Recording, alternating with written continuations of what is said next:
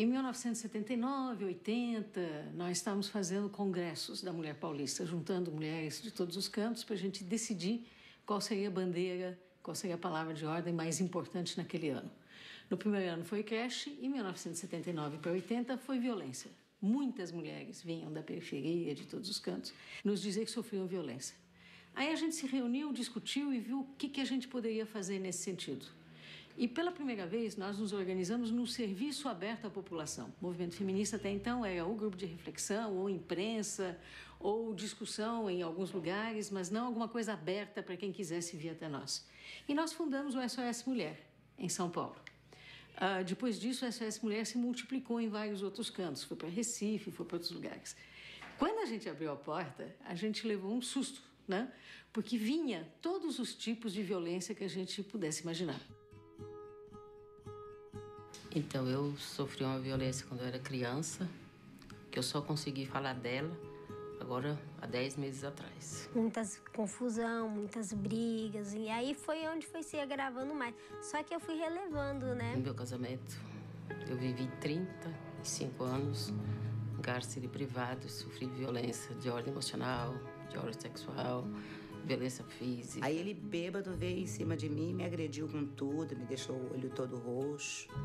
Mas aí também não houve segunda agressão, porque eu disse, se tiver uma outra, eu não vou resistir. Quem bate, esquece, mas quem apanha jamais vai esquecer, né? E às vezes as portas se abrem pra gente e a gente não tem a coragem de dizer. E dizer que foi, que foi vítima de violência não é vergonha nenhuma. Vergonha é você ser violento.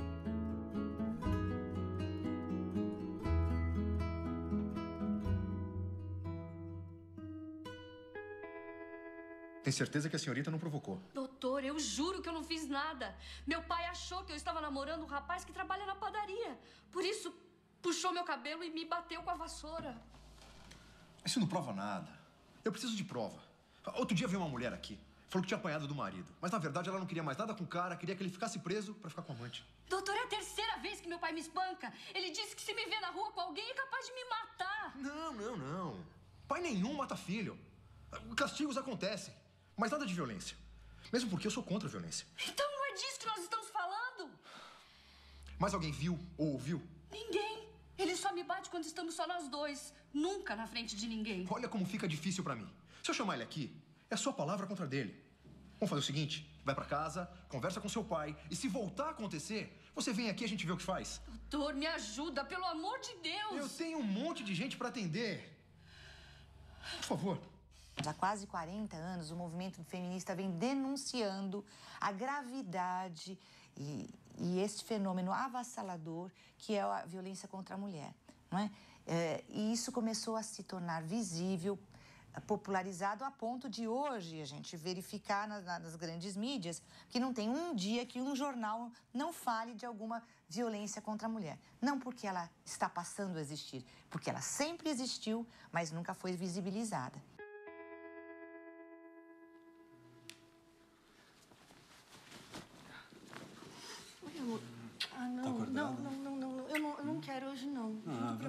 Não quero. Rapidinho, não, rapidinho. hoje eu tô muito cansada. Eu trabalhei ah, eu o dia também. todo. Vamos, vamos, vamos. Não, não, ah, o que, não, que é? por favor. Você não me ama mais? Não, isso? claro. Hum. Eu te amo muito, amor. Não, mas então, vamos quero, lá, vamos lá rapidinho. Não, amanhã, amanhã juro. Amanhã também, mas hoje, eu quero agora. Não, ama, amanhã tudo bem. Hoje não, hoje eu não para quero. de frescura. Ai, eu não... Ah, eu quero agora, eu quero agora. Ai, eu não hum. quero, quero. para de frescura, eu sou seu marido, você não tem que querer, vai. Desde a década de 70, as mulheres dos grupos feministas, dos movimentos de mulheres, elas já vinham denunciando essa violência que acontecia no espaço doméstico, principalmente essa violência na relação amorosa, que a gente chama, né, no espaço doméstico, e vinham denunciando isso a partir dos crimes passionais, uh, dizendo, uh, usando o bordão quem ama não mata, tentando trazer para a sociedade essa discussão. Mas no início dos, dos, anos 80, né, mais precisamente em 1980, são criados os primeiros serviços. As feministas criam serviços que são os SOS Mulher. E também é um período muito de redemocratização do Estado brasileiro e onde as mulheres então entram nesse processo para reivindicar serviços públicos, políticas públicas de atenção não só a violência, mas também, principalmente, a violência contra a mulher.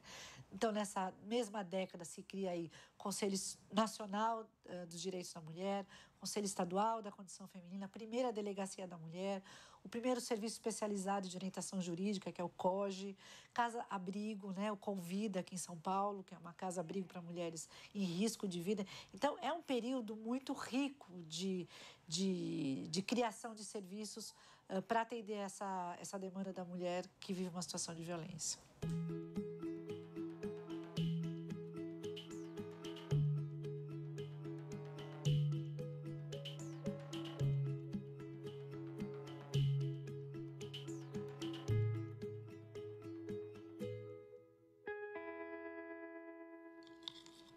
Tá boa a sopa? Tá um pouco salgada, né? É. Ah, recebeu hoje? Recebi. É, vou buscar. Eu esqueci de te entregar. 700. Hum. É, acho que com isso e mais o bico que eu descolei vai dar pra pagar o conserto do carro. Quanto é o conserto? Ah, o mecânico falou que uns 400. Hum. Você acha que vai sobrar algum dinheiro? Eu tava precisando comprar umas coisinhas pra mim. Acho que se não fosse esse problema do carro. Faz assim, vê se no mês que vem você consegue economizar um pouquinho na água, na luz. E quem sabe se eu descolo uma coisa melhor também. É que tá difícil. Você entende, né? Ah, entendo, claro. Melhor consertar o carro, né? É. É. Aliás, falando nisso, toma aqui a condução da semana, tá? Tá. Hum. Bom, eu vou lá no bar do bigode tomar uma zinha que eu tô empolgado com esse bico, tá? Pra comemorar. Depois eu volto. Eu vou lavar a louça.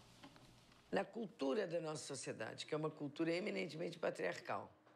E, ao ser patriarcal, é, é uma cultura pensada, pensada, elaborada, legislada pelos homens e para os homens. Né? Então, a violência contra a mulher seja ela violência doméstica, violência sexual, violência intrafamiliar, violência contra os idosos, né? É, violência que a gente chama de uma violência institucional no âmbito dos serviços, né, das empresas, das, dos hospitais aqui, e né, no impedimento da mulher ocupar certos cargos, a maioria dos cargos de direção, por mais competência que elas estejam, é uma violência já fundante da nossa sociedade. Amor, então eu vou na feira, tá? Espera acabar a corrida que eu vou, amor. Ah, mas aí vai ficar tarde. Eu preciso comprar as coisas. Daqui a pouco teus irmãos estão aqui. Relaxa, amor. Quando acabar a corrida eu vou, tá? Termina de ver sua corrida que eu vou. Pronto, desliguei. Ah. Deixa que eu vou. Ó, você sabe que eu não gosto de ficar sozinha na rua, né, amor? Mas, amor, é aqui, a feira aqui do lado. Eu sei, mas eu não gosto de você andando sozinha pela rua, tá bom? Tá bom. Amor, sabe aquela moça que faz a minha unha toda semana? Ela não vai poder vir. Então eu tava pensando em ir no salão. Ah, não, amor. Sabe que eu não gosto de papo de cabeleireiro, esse clima, vocês lá fofocando, falando mal da vida uma da outra. Ó, você fica em casa, cuida das suas coisinhas dos meninos, tá bom? E como é que eu faço então? Não sei, você espera ela voltar a trabalhar. Ou então arruma outra, né? Eu vou na feira. Tchau. A Lei Maria da Penha, ela vem dar uma resposta a esse fenômeno que passa a ser visibilizado. E uma resposta avançada, que não cuida só da punição, cuida da prevenção, cuida do atendimento, cuida da integralidade, da totalidade desse fenômeno. A gente conseguiu um avanço no sentido de desnaturalizar algumas formas de violência, não é? que eram naturalizadas, que hoje talvez a gente até não acredite, mas muitas mulheres que uh, sofriam humilhação dentro do casamento, às vezes até algumas agressões, minimizavam isso, achando que isso fazia parte da relação afetiva de alguma forma. Né? Então, o que a gente via aqui no atendimento da casa e que a gente sempre discutiu muito é que as mulheres levam algum tempo até se conscientizarem de que aquela situação é violência. Né? Geralmente, elas têm um processo uh, de desculpar e justificar o agressor. Ah, não, hoje ele estava nervoso. Ah, hoje ele brigou, ele perdeu o emprego, ele estava alcoolizado. Ela justifica o, a atitude dele até onde não dá mais. Né? Uh, com a Lei Maria da Penha, a gente conseguiu avançar e demonstrar algumas, explicitar algumas dessas violências. Né? Então, a violência física hoje ela é mais óbvia, mais evidente, né? a gente já, já consegue ter isso mais claro. Algumas formas de violência moral, então, uma humilhação mais explícita, uma agressão, uh, uma ameaça. Né? São algumas formas que hoje a gente já consegue identificar melhor. Mas algumas outras formas mais sutis de violência, uh, nem as próprias mulheres identificam. Né? Que muitas vezes são aquelas mais perniciosas, que vão destruindo a autoestima, que vão fazendo essa mulher perder a confiança em si mesmo. Então, essa forma ainda nem as mulheres e muitas vezes nem o judiciário consegue identificar como violência. Eu acho que é um grande desafio que a gente tem é poder demonstrar essa violência psicológica hoje uh, dentro da Lei Maria da Penha.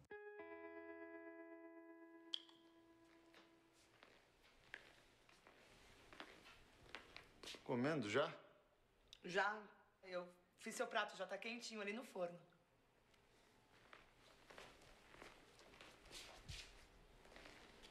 Tá fria essa comida. Não é possível, eu acabei de fazer. Tá fria? Que merda é essa? Calma, desse jeito você vai ter um piripaque. Põe no micro-ondas. Eu chego essa hora cansado, você que vai ligar o micro-ondas. Você sabe que eu não sei como funciona essa porcaria? Você fica aí sentada vendo televisão, comendo e engordando, comendo e engordando. Eita, não tá feliz, vai embora. Devia ir mesmo. Quer ver o que você ia fazer com quatro filhos para sustentar sem profissão?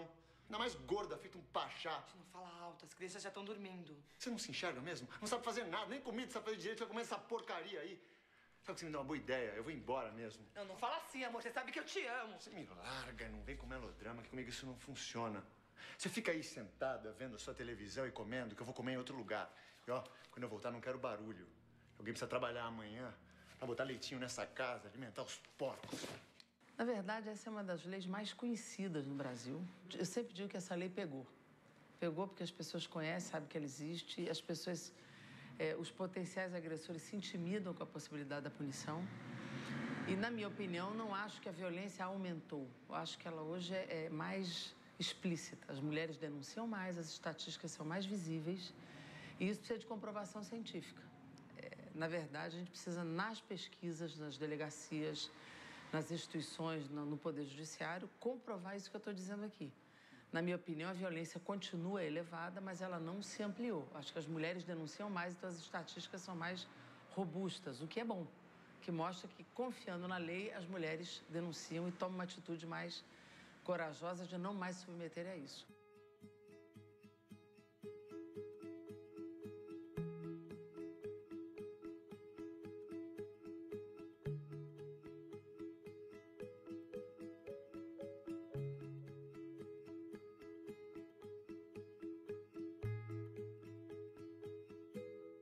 Grande avanço nesses últimos 30 anos aí de denúncias e de serviços de violência exatamente a proliferação desse serviço. A gente tem, ainda não atinge todo o território, mas a gente tem muitos serviços hoje uh, que dão assistência para as mulheres, defensorias públicas, uh, centros de referência, casas-abrigos. Então, é fundamental que as mulheres procurem ajuda, né? que elas possam levar a público essa situação que elas vivem solitariamente no espaço doméstico. Esse é o primeiro passo para que ela possa buscar uma vida sem violência.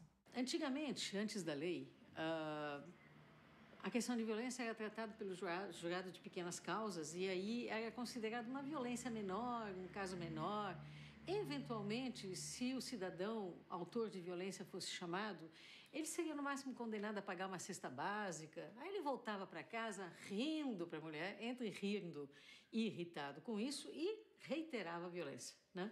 Então, uh, o fato de ter aumentado a pena, de, pode dar prisão, né? Uh, fez com que, uh, pelo menos a gente espera que iniba a violência, tá? Porque a coisa grave não é só dar uma cesta básica e voltar para casa. Hoje ele cumpre pena. Isso é importantíssimo. A Maria da Penha avançou porque criou os juizados de familiares de pequenas causas para agilizar o processo. Avançou, né? isso é um avanço, mas é um impedimento, porque nós temos poucos juizados. Você ainda tem estados do Brasil que não tem nenhum juizado especial de violência contra a mulher, como o estado de Sergipe, e tem vários municípios que não tem nenhuma delegacia, então isso é cumprir a lei, é fazer acontecer. E existe, principalmente por parte de alguns juízes, uma visão de que não gosta da lei. Só que lei não é para gostar, é para cumprir. Né? Avançou na, numa questão fundamental da mulher não poder retirar a queixa. Ela só pode retirar a queixa na frente do juiz. Mas o mais importante disso tudo são as medidas protetivas. Né? a mulher eventualmente ia prestar queixa e voltava para casa, e aí o, o cidadão autor de violência estava lá, continuava lá. Ela tinha que sair e ele continuava lá, não fazia sentido. Hoje é o contrário, ele é tirado de lá e não pode se aproximar, a não ser uma certa distância, e ela continua. As coisas dela são dela. De vez em quando ela voltava, ele tinha posto outra no lugar ou tinha vendido tudo que era dela. Né? Então, tem uma série de medidas protetivas que garantem uma série de coisas para as mulheres, e isso é super importante também. Toda mulher, independentemente de classe, raça, etnia, orientação sexual, renda, idade, nível educacional, cultura e religião, goza dos direitos fundamentais inerentes à pessoa humana sendo-lhe asseguradas as oportunidades e facilidades para viver sem violência, preservar sua saúde física e mental e seu aperfeiçoamento moral, intelectual e social. Serão asseguradas às mulheres as condições para o exercício efetivo dos direitos à vida, à segurança, à saúde, alimentação, educação e cultura. Moradia, ao acesso à justiça, ao lazer, ao esporte, ao trabalho, à cidadania, à liberdade, à dignidade,